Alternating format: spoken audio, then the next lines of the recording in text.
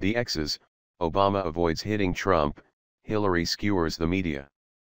Barack Obama seems to be enjoying his ex-presidency. Hillary Clinton seems to be anguishing over her ex-candidacy. In accepting the JFK Profile in Courage Award, Obama weighed in on the debate over the law nicknamed for him. But he threaded the needle in not mentioning President Trump by name. The media would love to cover a Trump-Obama slugfest. And Obama is clearly not going to retire to a quiet existence and paint portraits, as George W. Bush did. But he is said to have appreciated Bush's policy of not criticizing his successor and plans to follow a modified version, at least for now. Clinton is following a very different path, speaking out against Trump. The 44th president noted in his speech that some members of Congress risk losing their seats, and ending their political careers, by voting for Obamacare. It is my fervent hope and the hope of millions. Such courage is still possible, that today's members of Congress regardless of party are willing to look at the facts and speak the truth, even when it contradicts party positions, Obama said. What he's really saying is that wavering Republican lawmakers should stand up to Trump and their leaders and refuse to gut his health care law, protect people with pre-existing conditions and not slash Medicaid.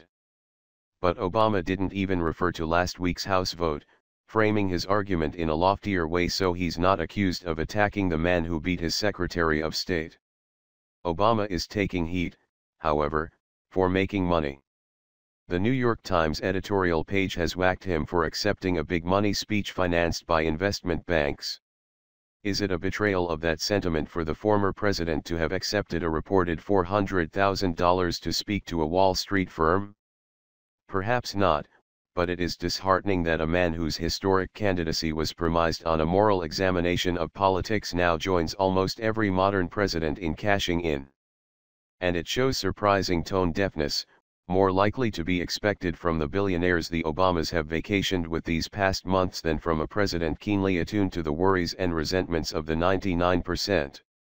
So the Times is asking Obama not to do what every former president this side of Jimmy Carter has done cash in on the speaking circuit in service of some higher ideal?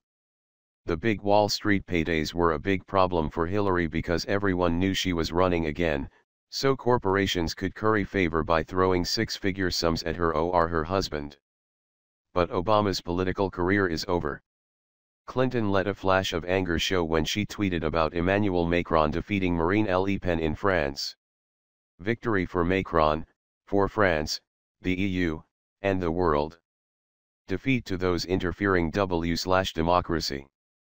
But the media says I can't talk about that. Translation, she's smarting from the harsh coverage of an interview last week in which she took absolute responsibility for losing the election but then blamed others, James Comey, WikiLeaks, Russian hackers. Since a Russian-affiliated group hacked Macron's email though French media followed a blackout order on the contents Clinton was taking a whack at Russian hackers, who she believes hurt her badly in 2016. But she was also saying the media don't want her to talk about the role of outside players in her loss. What the commentators were actually saying is that Clinton never owned up to her lack of an economic message or her fatal neglect of key Rust Belt states. If Hillary wants to take on the media, be my guest. At least it will make her Twitter feed more interesting than it was during the campaign.